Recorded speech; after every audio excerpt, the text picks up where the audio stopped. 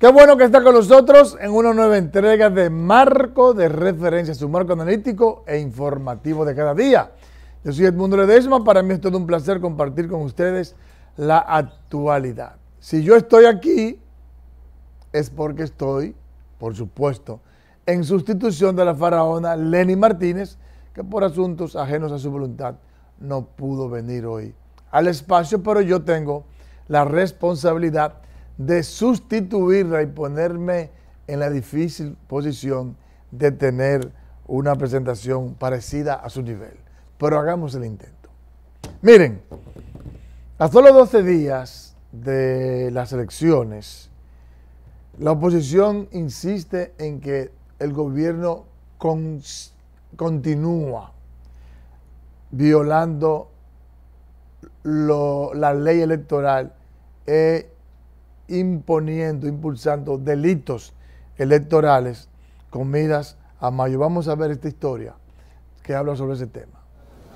El bloque de diputados del Partido de la Liberación Dominicana depositó este martes ante el fiscal del delito electorales la documentación de cientos de supuestas pensiones que según ellos son fraudulentas. Estamos hablando de, desde el año 2020 hasta la fecha de decenas de decretos firmados por el presidente de la República, otorgando a personas que nunca han trabajado ni siquiera un mes en el Estado Dominicano, se está entregando el privilegio de una pensión de por vida de 70 mil, 80 mil, 100 mil pesos. Sabemos con qué fines. Con el fin de promover el transfugismo.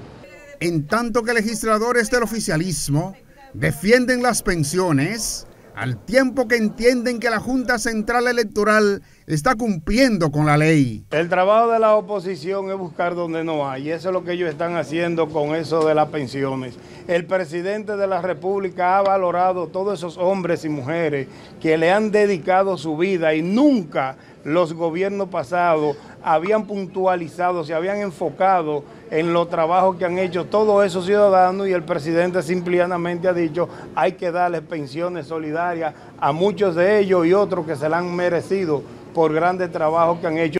El vocero de los diputados periodistas afirma que las pruebas que presentan sirven para que también se movilice la Procuraduría de Persecución contra la Corrupción aquí hay bastante material como para que esta Procuraduría se eh, dedique a, llevar a cabo la justicia en materia electoral y también de procurar eh, que no se usen los recursos del Estado de la manera como se están utilizando con el tema de las tal pensiones solidarias, que no son pensiones solidarias son pensiones fraudulentas que vulneran el Estado de Derecho de los servidores públicos que tienen muy bien ganado su derecho de tener una pensión y que además también vulneran el espíritu de la ley 379 y 181 sobre pensiones, que establece muy claro cuáles son las gente que pueden ser pensionadas y cuáles no.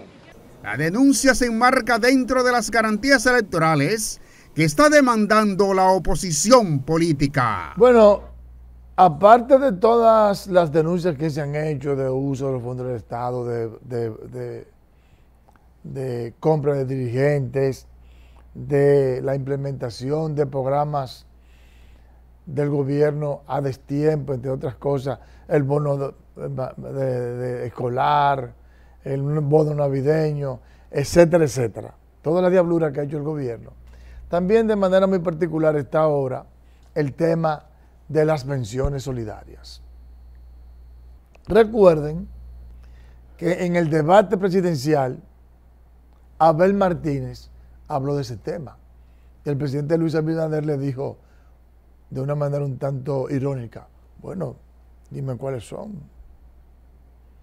Como diciendo, si tú me demuestras que yo he cometido algún desliz, que estoy utilizando los recursos del Estado de manera personal para beneficiarme políticamente y electoralmente, pues enséñame el Estado que yo hasta lo quito lo que está mal. Bueno, pues el PLD hizo eso. Y ahí vimos cuando eh, varios, varios legisladores del PLD presentaron la lista. Ellos hablan de 25 mil personas que estarían siendo beneficiados por una pensión solidaria de manera irregular eh, hay otras personas, colegas incluso, de Danina Caminero, la colega Danina Caminero, dice que hizo un estudio y determinó en esa investigación que hay unas 95 mil o más pensiones solidarias, de las cuales un alto porcentaje son para personas que nunca han dado un golpe en el Estado. Nunca han dado un golpe en el Estado. Que muchos hasta son delincuentes. Que muchos viven fuera del país. Que nunca han trabajado en el Estado. Y que su único mérito es hacer política a favor del presidente Luis Abinader. Lo cual evidentemente es un abuso y una, una violación a la ley y además un desatino eh, si tomamos en cuenta la situación financiera de la República Dominicana. El propio presidente de la República dijo que de ganar las elecciones inmediatamente convocaría a todos los sectores vivos de la nación para que nos aboquemos a la negociación de un pacto fiscal, porque los cuartos no dan. Y entonces, como usted da miles de millones de pesos en pensiones solidarias unos pendejos que nunca han trabajado. Así no. Miren, a propósito de eso, la Junta Central Electoral, luego del reclamo de los partidos políticos, recibió la visita de parte de una comitiva de la Alianza Rescate RD, en, en el cual le presentaron un pliegue de denuncias y demandas para que la Junta Central Electoral pues eh, las aplique, que de por sí es aplicar lo que ya está establecido en la ley y que el PRM lo violó. El presidente de la República, Luis Abinader, dijo que va a acatar todo lo establecido en el comunicado de la Junta Central Electoral. Vamos a ver la historia. A medida que se acerca el día de las elecciones presidenciales y congresuales, la Junta Central Electoral avanza en sus aprestos de recordarle a los competidores y partidos políticos lo que está permitido y lo que no, de acuerdo a las normativas electorales vigentes.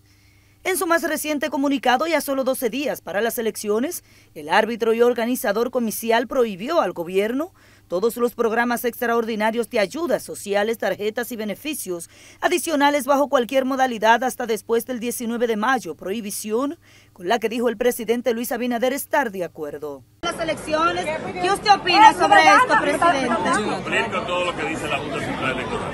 Pero eso afecta, pero eso afecta, señor presidente, la campaña. Ante la insistencia de los miembros de la prensa sobre diferentes temas como el listado de candidatos pro abortos por los que la Iglesia Católica llama a no votar, y las declaraciones del candidato presidencial Leonel Fernández, quien dijo no le sorprendería ganar en una primera vuelta, el jefe de Estado se limitó a llamar a la población a votar de manera masiva en los próximos comicios. Leonel dice que se están utilizando las ayudas sociales para el proselitismo. Leonel dice que no le sorprendería ganar en primera vuelta, presidente. ¿Qué usted piensa? A todos los dominicanos que vayan a votar, a todos los dominicanos y dominicanas que vayan a votar a ejercer, a ejercer su deber y su derecho del voto. Es lo más importante. Ese es mi mensaje. Que todos vayan a votar. Eso es lo que necesita la democracia. Y del listado que pone la Iglesia Católica, presidente. El mandatario participó en un desayuno de la Federación Dominicana de Comerciantes, gremio que le solicitó en una próxima gestión impulsar una reforma fiscal. Todos conocemos que es impostergable una reforma fiscal para cuadrar las cuentas del gobierno, para reducir ese déficit de 200 mil millones de pesos. Durante la celebración de los 50 años de fundación de la Federación Dominicana de Comerciantes, su presidente Iván García informó que ese sector ya tiene contratadas a dos firmas de economistas para preparar la propuesta de reforma que necesitan. Que por cierto, vimos ahí a los colegas reporteros haciéndole preguntas interesantes al presidente de la República, que tiene que ver con lo que lo de las pensiones solidarias y tiene que ver también con las declaraciones que hizo, las denuncias que hizo el presidente Luis eh, Leonel Fernández en La Voz del Pueblo. donde lo acusó de usar de manera descarada los fondos del Estado. Y vimos cómo él evadió ambas preguntas. Por primera vez estamos viendo, desde hace mucho tiempo, que la oposición está a la ofensiva. Por un lado, la voz del pueblo, donde el presidente, cada el presidente Leonel Fernández cada semana está haciendo denuncias sobre las irregularidades y el manejo equivocado, ineficiente, ineficaz, poco óptimo de parte del gobierno en la aplicación de las políticas públicas y ahora también como eh, el equipo de legisladores del PLD llevó ese pliegue, ese, ese estudio donde se presentan nombres de las personas, unas 25 mil personas, que han sido beneficiadas con pensiones solidarias y que no la merecen. Entonces, por primera vez estamos viendo al presidente Luis Abinader a la defensiva, evadiendo la respuesta eh, de los comunicadores, no luciendo altanero y respondiendo de manera, digamos, egocéntrica, todopoderosa a los reporteros mandándole fuego a los a la oposición. Lo que quiere decir que si la oposición hubiese iniciado ese proceso de oposición unos dos o tres meses atrás y se hubiesen puesto de acuerdo, definitivamente el escenario político, el ajedrez político, tuviese de otra manera. Porque la oposición, aunque no acepta eh, los números tan elevados que le dan las encuestas. Por ejemplo, en esta semana la Greenberg le dio un 58% de preferencia al presidente Luis Abinader. La PEN le dio un 57%. Panorama le dio un 64%. Entonces la oposición reniega eso y dice que hay segunda vuelta que no hay posibilidad alguna de que el presidente se vaya en la primera vuelta. No obstante, si hubiesen hecho una mejor oposición,